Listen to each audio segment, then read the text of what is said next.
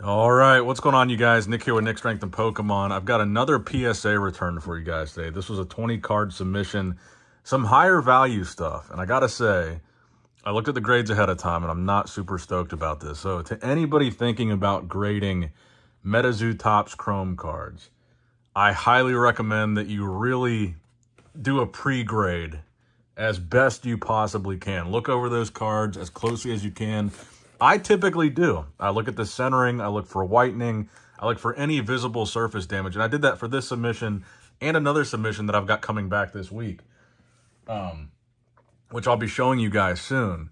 But MetaZoo Topps Chrome is really, really, it just seems like PSA is not a fan because they've been very harsh with my MetaZoo Topps Chrome. There's a lot of that in here. There's some other MetaZoo cards too. But this 89 card submission that I just had, I looked at the grades on those because they came back today. And of the 89 cards that I sent, they were mostly Topps Chrome. And the only cards that got a 10 were the non-Topps Chrome cards.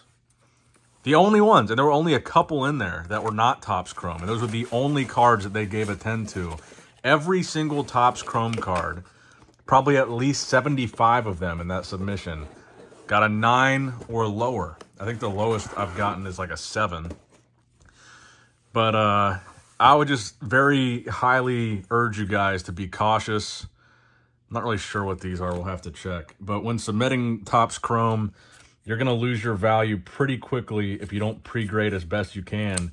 And again, I thought I did on most of them. Now, some of the higher value stuff, like some of the gold serialized cards, I submitted regardless of what they really looked like. And even some of the greens too, because I wanted to grade them because they're serialized. And I was going to grade them regardless of, of what condition they were in. I tried to look at them, especially the ones that I bought.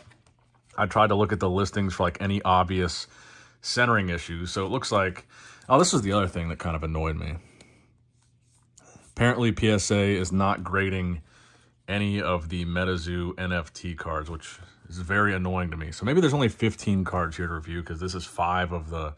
And we had a serialized one to go. I'm, I'm probably going to list most of this submission on eBay, to be honest, because I'm kind of disappointed with the grades. And I'll probably put this Wendigo up, too, because I mostly collect graded cards. And I don't really want those in my binder anyway, so a little disappointed about that. But definitely don't get your hopes up grading MetaZoo Topps Chrome. See, this is what I'm talking about. Now, the centering, it's not horrible, but maybe a little bit off from top to bottom. I don't see any visible surface damage, but this is a gold refractor frogman. For some reason, it got an 8. I don't see any print lines. I don't see any major issues with the corners. Yeah, from top to bottom on the back, maybe a little bit worse, but this is number 43 out of 50. But again, it's just like, seemed like a perfectly good card. Seemed perfectly gradable. I thought worst case scenario, I'd get a 9. For some reason, it got an 8. If you guys can tell me why, there's a little, maybe a little whitening there. If you guys can tell me why, let me know. But it definitely sucks. So we got a Cryptid Cam Frogman here. This is number 12 out of 50. Another eight. And on this one, I just don't even know, man. It looks like there's... I don't know if that's just the case pressing up against the surface there. It looks like it's the case pressing up against it. But I mean, the centering's fine. The corners are fine. Centering's actually pretty good. I'm not sure what this is up here, but Again, numbered out of 50. This one gets an 8. Very disappointing. I don't even remember. I think there might be one 10 in here. I can't remember which one got a 10. I think there was one. This one is probably just an X-Fractor, I guess. Oh, no. the uh, This is from Topps Cryptid Nation Series 0. So this is not Topps Chrome. I graded this just because I wanted to have this card in a 10. And I thought it would grade easier because there was no foil on it. And I thought there's nothing wrong with it. I thought the centering looked fine. But it gets a 9. It's just a regular, nothing really rare about it. Again, just kind of disappointing. So here's a numbered out of 99. Looks like there's a hair inside the case or a scratch. Looks like maybe a scratch. So out of 99, another 8. Really, really don't understand it. Again, from top from top to bottom, the top looks a little thick compared to the bottom. But really, I just don't get it, man. I really don't. Like, what what is keeping this from being a nine? I don't real I don't see anything on the surface of these cards. Like I said, I tried to pre-grade these as best I could, but I I don't see any issues with the surface or anything that would make these drop down to an 8. And this one gets a 9. And this is number 31 out of 99. I can definitely see on the back that the centering the centering on this one I feel like is worse than all the others and it got the highest grade so far from top to bottom. That top looks pretty thin compared to the bottom. I don't think the back matters as much as the front and the front to me looks fine. But okay. That one gets a 9. Here's number 95 out of 99. That one also gets a 9.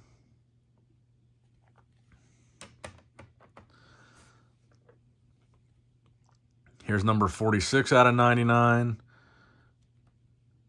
That one gets a 9, so I'll probably at least keep one of each 9. All right, here's something something good. Okay.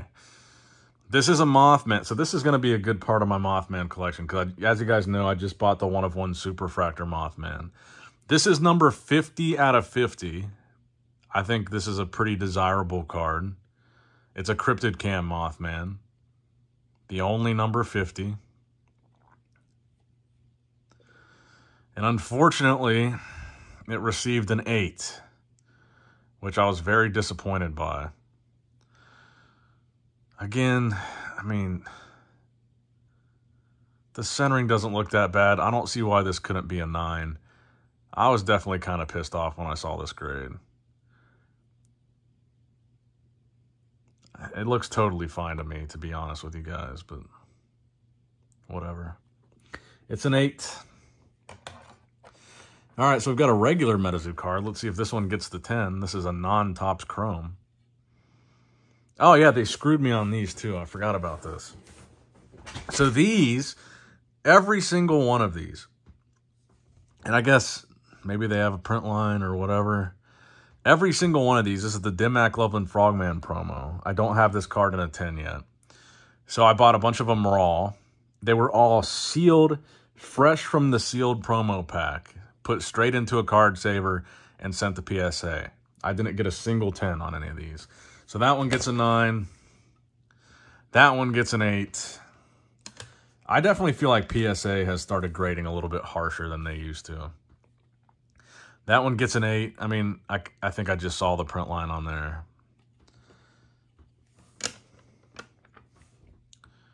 That one gets a 9.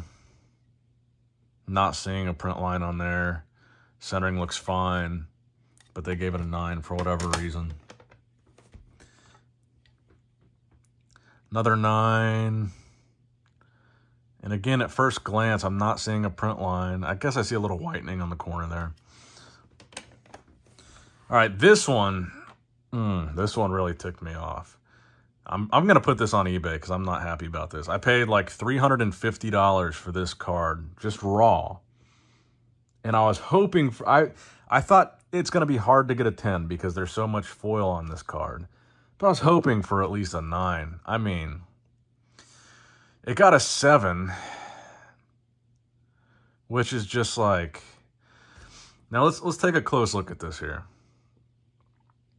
Ooh, I think I see the issue, and maybe I missed that. Is that a print line or is that a scratch? Right there. Might be a scratch right there on the foil. Let me...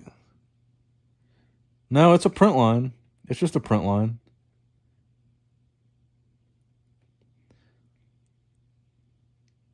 So I see one print line on this card. I thought it was a scratch, which then would explain it, but it's a print line. It goes right through it. I don't see any other print lines. I don't see any scratches on the surface. Maybe that corner there. I don't remember that being there, honestly. Looks like there's a scuff on the corner. I don't remember that. But it got a 7. Centering looks totally fine to me for what it's worth. I guess that corner might do it, but I do not remember that looking like that when I sent it in. Whatever, though. I wasn't expecting a 10 on this card because there's so much foil, but I was pretty disappointed with a 7. That kind of ticked me off because this was probably the most... Well, the Mothman numbered out of 50 might have been more expensive, but this was probably... Um, let's take a thumbnail here. Is that a good thumb? But this one really ticked me off when I saw that grade. All right, what's the last grade? Okay, there we go. At least we got a 10, so I'll keep that one.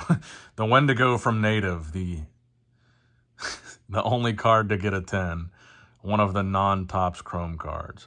And you guys are going to see, man, this 89 card submission. Make sure you subscribe for that because it's going to be way more brutal than this.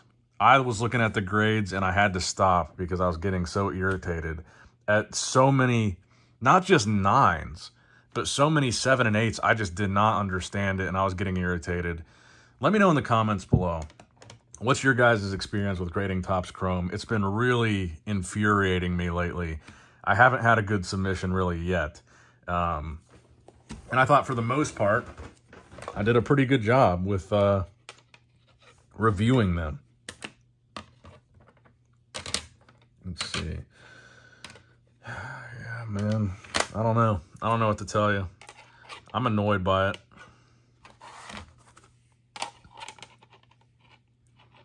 Would that be the thumbnail? All right. Let me know what you guys think. Like and subscribe. Nick Strength and Pokemon signing out.